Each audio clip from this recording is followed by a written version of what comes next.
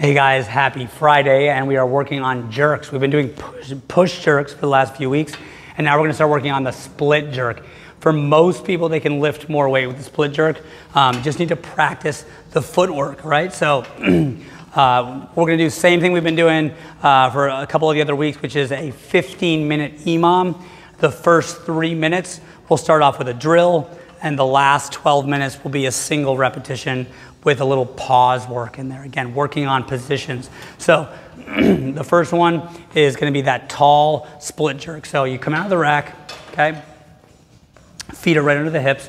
You're gonna press it up to your forehead, come up on your toes, and then push yourself into that catch position. Okay? And then recover, bring the bar down to the forehead. Okay? For three reps, okay? After you do that three reps for three minutes, we'll go into only one rep per minute for the last 12. And it's gonna have two pauses in it. So you're gonna come out of the rack, okay, set up, do a two second pause in the dip, two second pause in the catch, and then recover, okay? So the footwork here when we catch the feet go from under the hips, that's the same as the push jerk, down and up.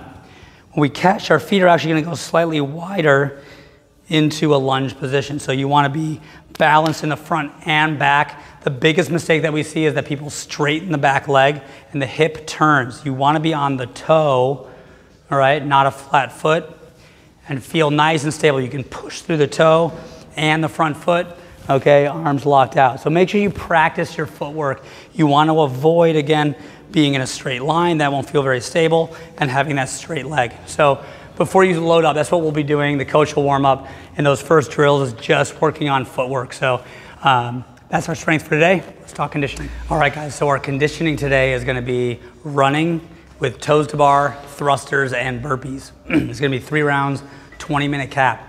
It's gonna start off with 20 toes to bar.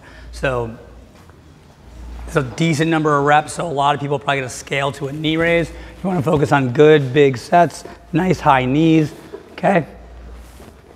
Working on that good control through your lat, right? Be safe on your hands and shoulders for this. Maybe break it up in the early rounds if you need.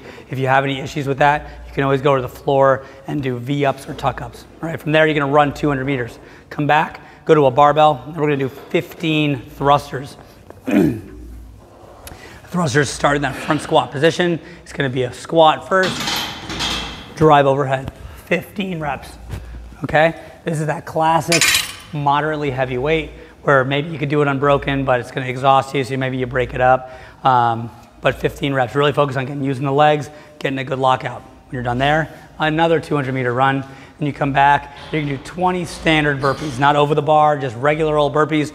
Make sure your chest and thighs touch the ground, drive your hips, jump and clap at the top for 20 reps, all right? 200 meter run to finish the round. You can do all that three rounds through. So a little bit longer workout, 20 minute cap. Have fun with that, guys. See you tomorrow.